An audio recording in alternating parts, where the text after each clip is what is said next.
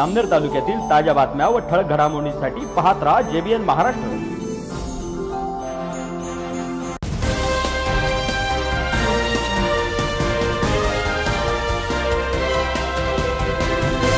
नमस्कार मी मिनल चौधरी. पाहूया काही ठळक वृत्त.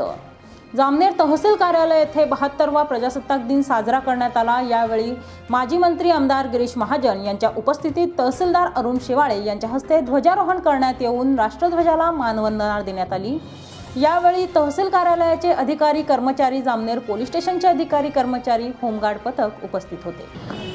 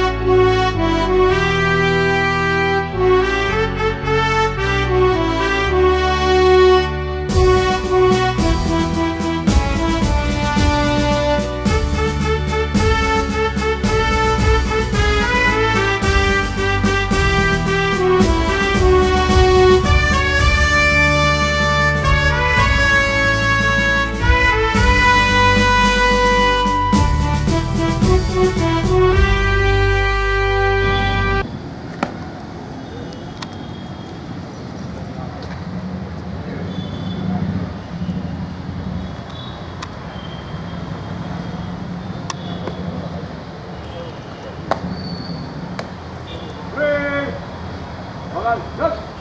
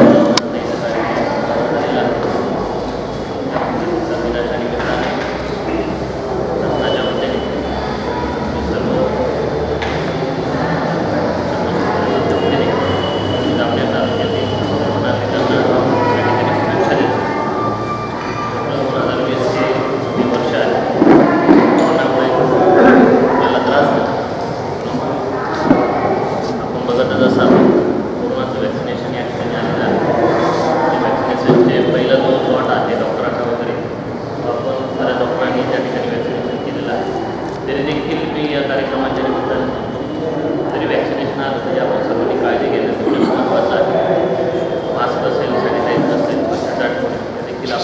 आपण ट्रीटमेंट करावं आणि सर्व शासकीय अधिकारी स्वातंत्र्य सैनिक या सर्व अधिकारी